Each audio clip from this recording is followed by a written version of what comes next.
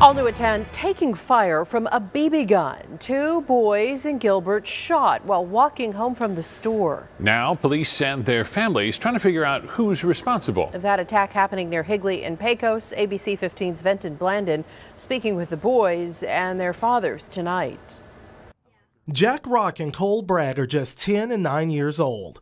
They've been joined at the hip most of their lives. The fourth graders share a lot of stories, but the most recent might be the scariest. We just heard some gun noises, and then we turned around, and then we heard, then we, um, then we got shot by rifles. Cole has no problem telling us what he and Jack experienced in Gilbert Sunday afternoon. We were just were standing there in shock because we just got sh shot by a like a pellet gun or something and were in pain and stuff. The boys walking back from a convenience store when they say they were attacked. Their fathers say BB gun pellets hit the youngsters on the chest and back. Jack's dad shows ABC 15 where he says markings appeared. I thought a rock hit me for a second really fast, but it, I, it, it just felt, it didn't hurt too bad. But then the boys say they saw the gun. As a dad, of course, the immediate reaction is, is anger.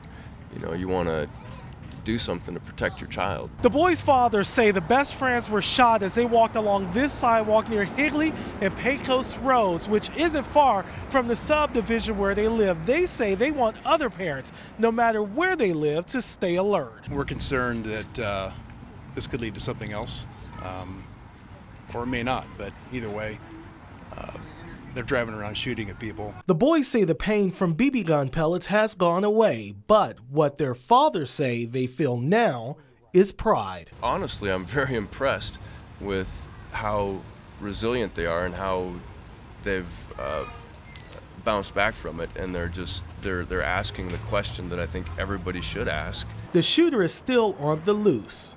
Gilbert police are now investigating. Venton Blandon, ABC 15 Arizona. All new video